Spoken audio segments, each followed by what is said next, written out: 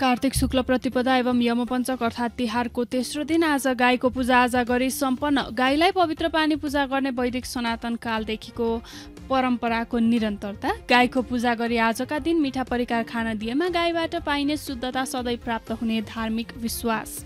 आज गाई पूजा गरी साउन शुक्ल पूर्णिमाका दिनमा दाहिने हातमा बाँधिएको रक्षाबन्धन गाईको पुच्छरमा बाँधिदिएमा मृत्यु पश्चात गाईले स्वर्ग जान बैतरिणी नदी तारिदिने धार्मिक विश्वास रहिआएकाले आज गाईको पूजा गरी सम्पन्न भयो तिहारको तेस्रो दिन।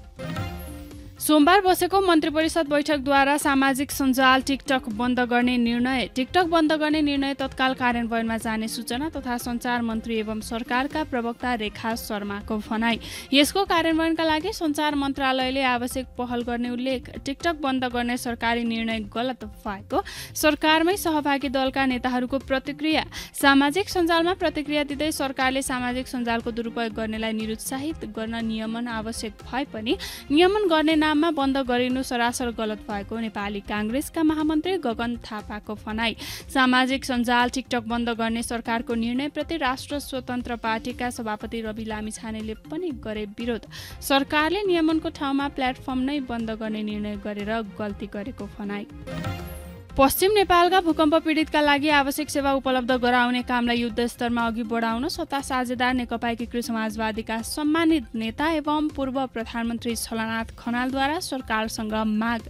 जाडोले कठ्याङ्ग्रिएर भूकम्प पीडितहरू मर्नु परेको दुर्भाग्यपूर्ण समाचार आफूले सुनेको उल्लेख गर्दै त्यस्तो अवस्था आउन नदिने गरी उनीहरूको सेवामा सरकार युद्ध स्तरमा लाग्नुपर्ने भनाई कतिपय पीडितले अहिले पनि राहत र उद्धार पाउन नसकिरहेको उल्लेख गर्दै त्यसको आवश्यक व्यवस्था मिलाउन पनि सरकार सरकारलाई गराए सचेत।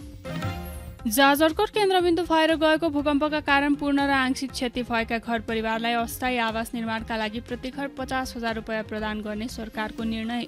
सोमबार बसेको मन्त्री परिषद बैठकले पूर्ण र आंशिक क्षति भएका घर परिवारलाई प्रति घर पचास हजार रुपियाँ दिने निर्णय भएको भौतिक योजना तथा निर्माण मन्त्री प्रकाश ज्वालाद्वारा जानकारी।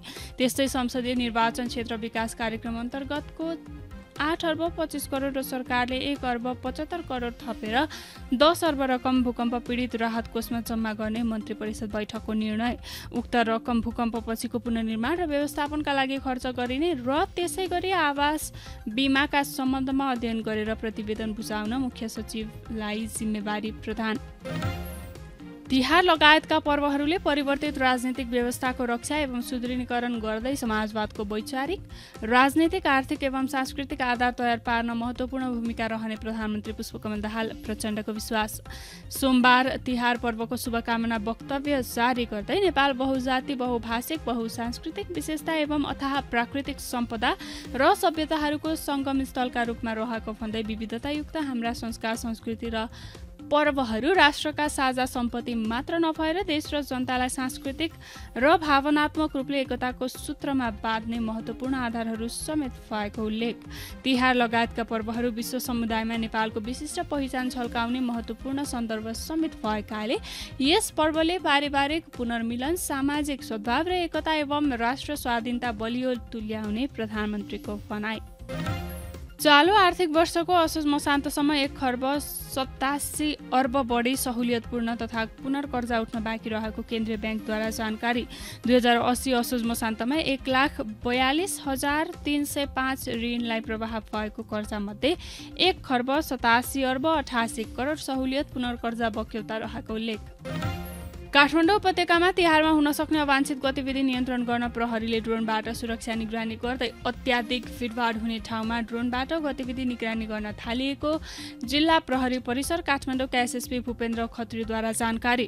चाडपर्वमा हुने आपराधिक गतिविधि नियन्त्रण गर्न काठमाडौँ उपत्यकामा प्रहरीको पैदल गस्ती मोबाइल गस्ती मोटरसाइकल मार्फत QRT quick response team control room vehicle CRV र पिकेटिङ परिचालन।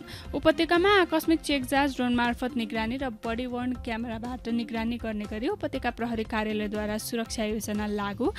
वित्तीय संस्था तथा नगद र बहुमूल्य गहनाको कारोबार हुने ठाउँमा सादा पोसाकमा प्रहरी र साना हतियार सहितका सुरक्षाकर्मी परिचालन गरिएको जानकारी।